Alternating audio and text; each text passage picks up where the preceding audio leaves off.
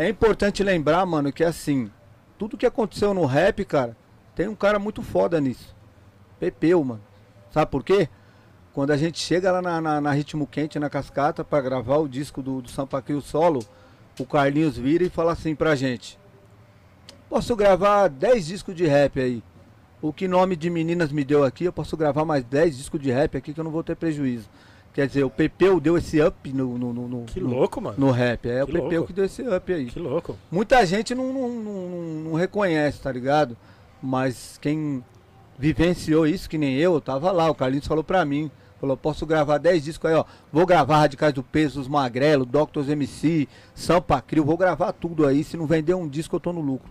Porque o nome de meninas foi o estrondo do rap, velho. Nossa, que Que louco. louco, Foi o hein? estrondo, mano.